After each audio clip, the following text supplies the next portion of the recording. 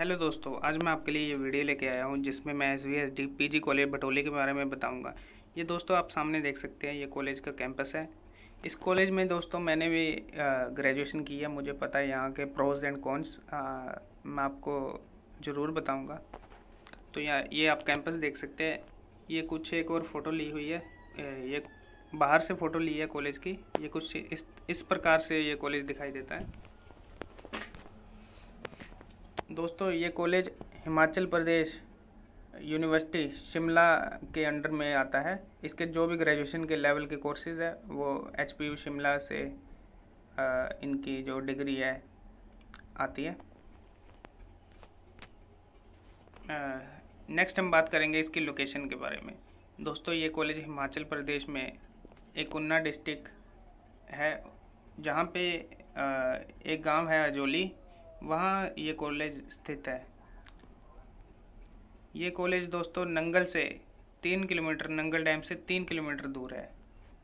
तो जो भी कॉलेज के आसपास में है, जिसको ग्रेजुएशन करनी है, वो काफ़ी कम प्राइस में ग्रेजुएशन की, ग्रेजुएशन में एडमिशन ले सकता है। यहाँ पे दोस्तों बहुत कम फ़ीस है। Compare to other colleges, other private college.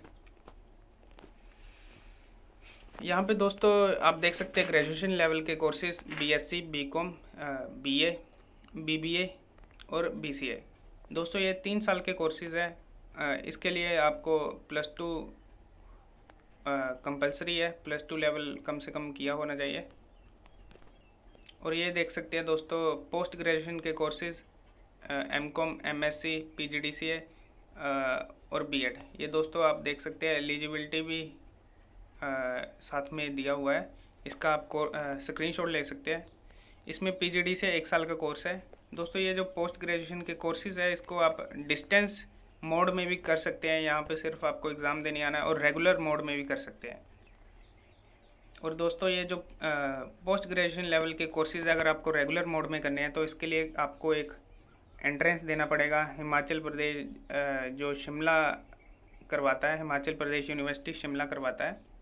उसका आपको एंट्रेंस देना पड़ेगा, उसके बाद ही इस कोर्स में एडमिशन मिलेगी।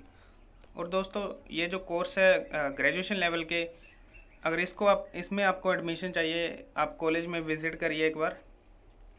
और आपको एक कॉलेज की वेबसाइट में रजिस्ट्रेशन करवानी है, जिसमें आपको प्लस टू के मार्क्स एंटर करने हैं। तो दोस्तों प्लस टू के मार्क्स के अकॉर्डिंग ही एक मेरिट बनती है। तो उसके हिसाब से ही आपको एडमिशन मिलेगी। यहाँ पे आप देख सकते हैं नंबर ऑफ़ सीट्स कितनी कितनी सीट्स है ये इसका भी आप स्क्रीनशॉट ले सकते हैं। उसी के हिसाब से मेरिट बेसिस पे आपको सीट मिलेगी। इसके बाद दोस्तों आप देख सकते हैं एडमिशन रूल्स यहाँ पे आप देख सकते हैं अगर आपकी प्लस टू की प्लस टू में कंपार्टमेंट है या सप्ली है तो आपको BSc, BCom, BBA, BCA graduation level के कोई भी कोर्स में एडमिशन नहीं मिल पाएगा। दोस्तों, अगर आपका एक साल से ज़्यादा गैप है प्लस टू के बाद एक साल गैप है तो आपको एक एफिडेविट बनवाना पड़ेगा, जो कि आसानी से नोटरी में बन जाएगा, या किसी भी कचहरी में जाके आप बनवा सकते हैं, एक दिन में बन जाएगा आराम से। अगर दोस्तों, आपने plus two Himachal Pradesh board से नहीं की है तो फिर भी आप तो आपको एक माइग्रेशन सर्टिफिकेट निकलवाना पड़ेगा। दूसरे बोर्ड से, जैसे कि सीबीएसई बोर्ड से की है तो आपको सीबीएसई बोर्ड माइग्रेशन सर्टिफिकेट देगा या आपको निकलवाना पड़ेगा।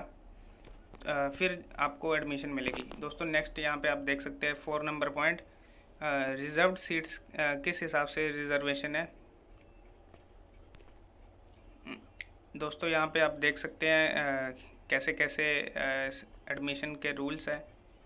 बीएससी के लिए कम से कम 45 परसेंट मार्क्स होने चाहिए बीकॉम के लिए 40 परसेंट मार्क्स बीए के लिए 35 परसेंट मार्क्स होने चाहिए।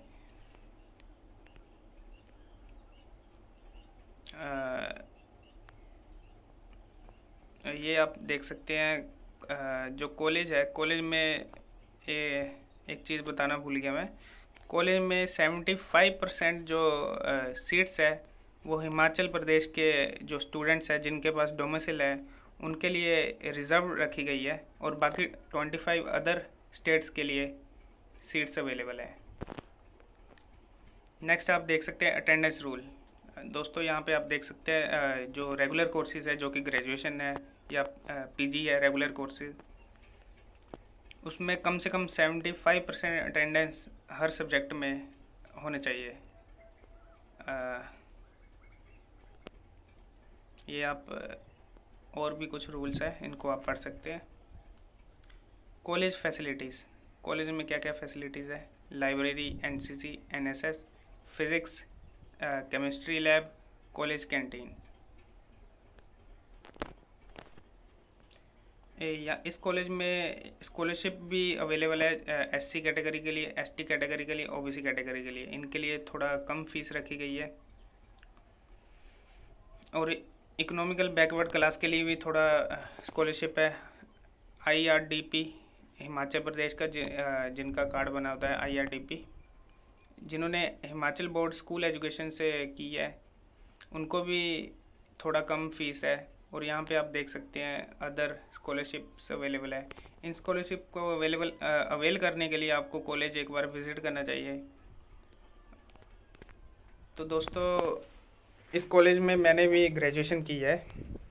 किन किन बच्चों को इस कॉलेज में एडमिशन लेना चाहिए? दोस्तों जिनका घर पास में है इस कॉलेज के पास में है पाँच किलोमीटर या छः किलोमीटर ज़्यादा दूर नहीं जा सकते कोई कोई और कॉलेज तो दोस्तों, उनको यहाँ पे एडमिशन लेना चाहिए। जिनको बेसिक ग्रेजुएशन करनी है या बेसिक पोस्ट ग्रेजुएशन करनी है, उतनी फ़ीस नहीं पे कर सकते। उनको भी दोस्तों यहाँ पे एडमिशन लेनी चाहिए। आ, मेरे हिसाब से यहाँ पे कुछ ज़्यादा फ़ीस नहीं है। कंपेयर करें अदर प्राइवेट कॉलेजेस से। और दोस्तों किन को एडमिशन नहीं लेनी चाहिए जिनको जिनका घर दूर है जो अफोर्ड कर सकते हैं ज़्यादा फ़ी अफोर्ड कर सकते हैं पे कर सकते हैं, वो और कॉलेज पढ़ सकते हैं, इनसे अच्छा कॉलेज है। कॉलेज का और उनको एडमिशन नहीं लेनी चाहिए जिनको एक्सपेक्टेशन है कि हमारा कॉलेज बहुत बड़ा हो। इस कॉलेज का दोस्तों कुछ ज़्यादा बड़ा कैंपस नहीं है, क्योंकि बेसिक बेसिक कोर्सेज अवेलेबल है B S C B Com B A P G P G level में भी तीन चार कोर्सेज हैं। तो आप देख सकते हैं, कॉलेज में एक बार विज़िट करिए, अगर आपको अच्छा लगता है, मगर इतना सस्ता में कोई, मुझे नहीं लगता कोई और दूसरा कॉलेज आपको ग्रेजुएशन लेवल और पीजी, पोस्ट ग्रेजुएशन लेवल के कोर्सेज प्रोवाइड करे। तो दोस्तों, आपको मेरी वीडियो कैसी लगी, प्लीज़ कमेंट करिएगा। अगर कुछ क्वेरी है तो आप मेरे से पूछ सकते हैं। Thank you.